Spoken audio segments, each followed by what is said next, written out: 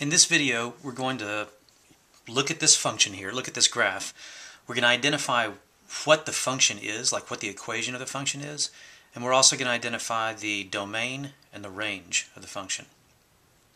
Now, um, this function goes from the point negative 9, negative 9, up to the point 3, negative 5, and then it changes direction and goes down to 6, negative 6. So uh, let's start with the domain and range because that's really the easiest part. Uh, let's remember what the domain is. The domain of a function is all the possible values of the x variable or the, the independent variable. Okay, so every point on this function here has an x-coordinate that is, well, since the furthest left it ever gets is negative 9, and since the furthest right it ever gets is 6, all the x-coordinates of the points on here are between negative 9 and 6. Okay, so we're just going to write the domain is between negative 9 and 6, and I'm just going to put x in between those two things. Easy enough. Now let's look at the range.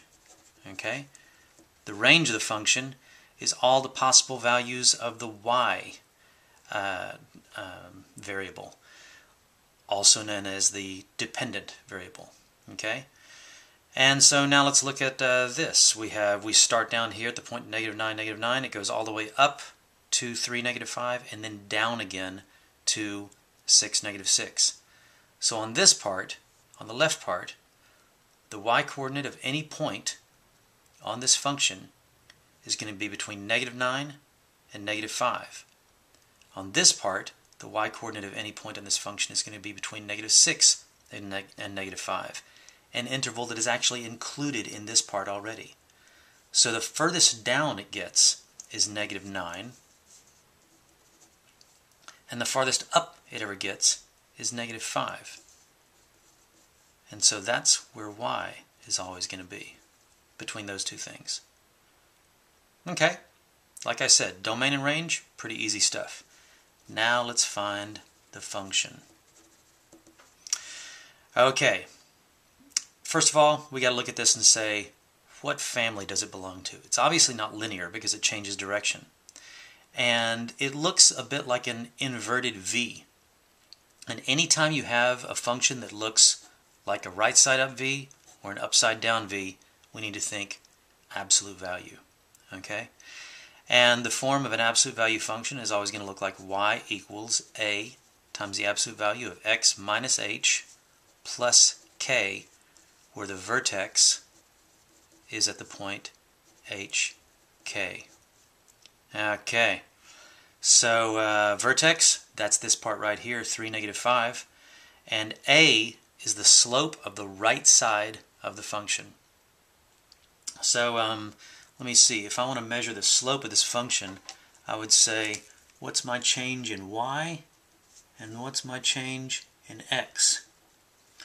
y is just going down from negative 5 to negative 6, so that's going down by 1. x is increasing from 3 up to 6, so that's going up by 3. So that means the slope of this is negative 1 third. Okay, that gives us the whole thing. Because now we have y equals negative one third, that's A, x minus h, the, uh, uh, the x coordinate of the vertex, so that's x minus 3, plus negative 5. I'll just write that as minus 5. And uh, in order for me to feel really good about my, uh, uh, about my function here, let me plug in the points that I see here. I'm going to plug in negative 9, negative 9. If I take negative 1 third times the absolute value of negative 9 minus 3 minus 5. Let's see, negative 9 minus 3 is negative 12. The absolute value of that is positive 12, so I get negative 1 third times 12 minus 5. Negative 1 third of 12 is negative 4 minus 5 equals negative 9. That's the y coordinate of my point, so I feel really good about that. And let me just try the, uh, the x coordinate, 6, negative 6 if I take negative one-third times the absolute value of 6 minus 3 minus 5, okay, I'm just replacing the uh, x-coordinate with, uh, the or the x uh, variable with 6. Uh, I get 6 minus 3 is 3. The absolute value of that is still 3. So negative 1 third times 3 minus 5. Negative 1 third of 3 is negative 1. Minus 5 is negative 6. And sure enough, that is the y coordinate.